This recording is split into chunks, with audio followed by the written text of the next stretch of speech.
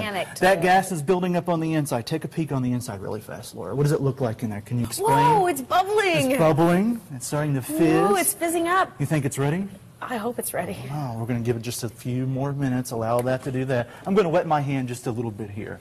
When I wet my hand, basically what that's going to allow me to do is if there's fire that comes out of the back, the water will absorb the heat and I won't get burnt. Now for you, did you wear your fireproof suit today?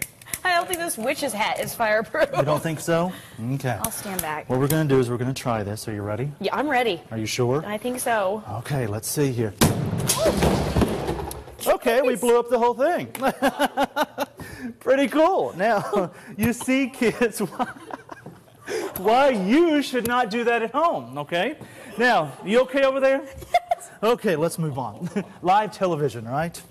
What I have over here, do you need a few minutes to recover there? Okay, okay, let's move on.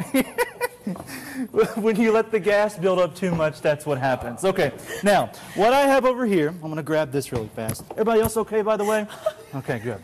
I have a big green tub here, and this tub, are you okay? I'm good. Okay, okay. This tub